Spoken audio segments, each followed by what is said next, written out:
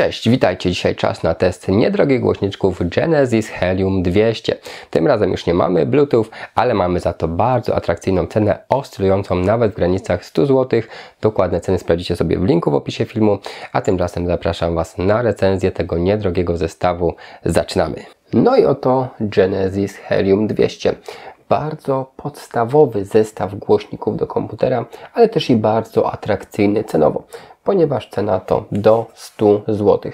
Więc nie jest to jakaś wysoka cena, jak za głośniki, które jakby nie było są wykonane z MDF-u. Mamy okleinę udającą karbon, co może mieć swoich zwolenników, jak i przeciwników.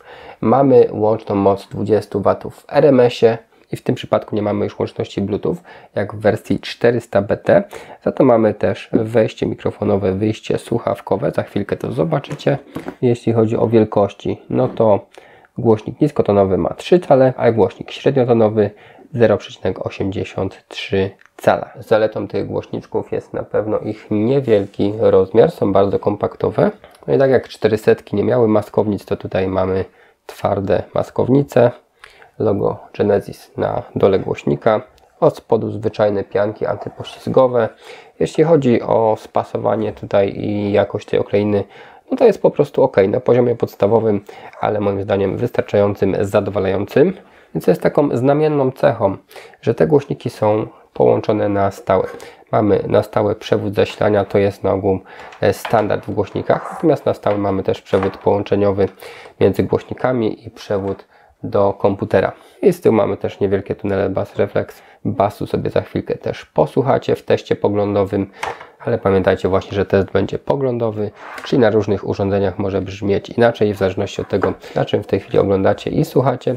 Natomiast najlepsze testy są na żywo. Jak macie możliwość posłuchać tych głośniczków u jakiegoś kolegi, no to wtedy polecam, żebyście to zrobili. Mamy potencjometr, który jest włącznikiem, wyłącznikiem jednocześnie, z pstrykiem dość takim e, słyszalnym mocno. No i kręci się z takim dość dziwacznym oporem. No i poza tym mamy tylko wejście mikrofonowe, wyjście słuchawkowe. Nawet te gniazda, jak widzicie, nie są pozłacane, takie bardzo podstawowe. No I z tego też względu zamiast e, cinch albo zamiast jednego e, mini jacka mamy dwa mini jacki trzypinowe, czyli jeden musimy do karty dźwiękowej wsadzić tam, gdzie mamy mikrofon, żeby przedłużał nam po prostu mikrofon do tego portu, a drugi do głośnikowego. Tak to jest tutaj pomyślane. Z jednej strony może fajnie, bo mamy pod ręką, jeśli mamy głośniczki koło monitora, to mamy blisko do podłączenia mikrofonu i słuchawek. Tak więc za chwilkę będzie poglądowy test dźwięku.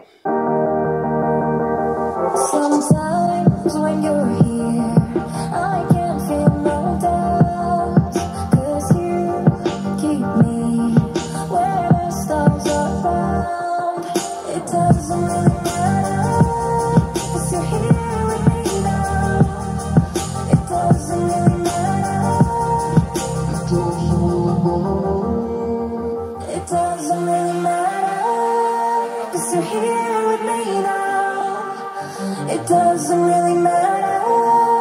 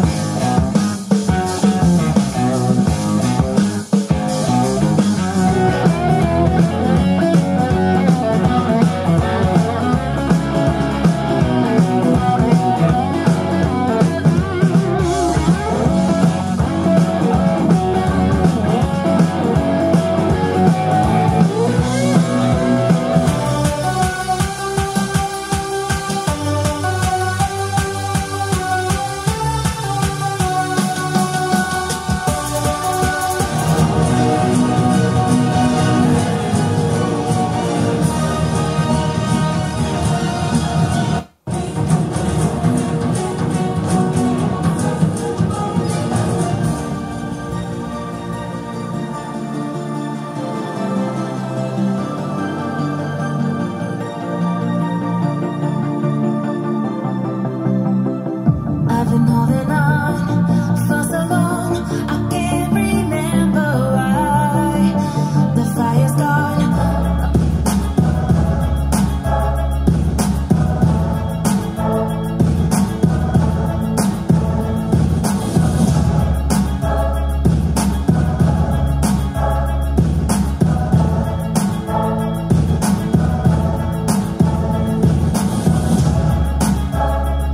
dobrze, i co tutaj możemy o nich powiedzieć? Jak widzieliście, nie są do końca idealne, mają jakieś swoje mankamenty, ale tutaj cena też dużo nam mówi, ponieważ jest to zestaw typowo budżetowy, można powiedzieć śmiało, że na każdą kieszeń, natomiast jakby nie było grający dużo lepiej niż jakieś plastikowe głośniczki za 50-60 zł, lepiej dopłacić naprawdę te 30-40 zł i mieć coś jednak w MDF jest okleiną jakimiś w miarę porządnymi głośnikami e, do środka włożonymi i jakoś to będzie wszystko brzmiało. Na pewno nie są to głośniki audiofilskie, nie zadowolą najbardziej wybrednych słuchaczy, ale nadadzą się na pewno do gier komputerowych na podstawowym poziomie i też na podstawowym poziomie do mniej wymagających gatunków muzycznych. Generalnie dobry stosunek jakości do ceny, głośniki podstawowe, no i na tym myślę, że zakończymy. Jeśli Wam się spodobały, możecie sprawdzić ich cenę w linku w opisie filmu, a jak nie, no to głośników na moim kanale nie brakuje. Recenzji jest sporo. Tak więc na dzisiaj to będzie wszystko. Dziękuję Wam za uwagę. Jeśli film Wam się spodobał,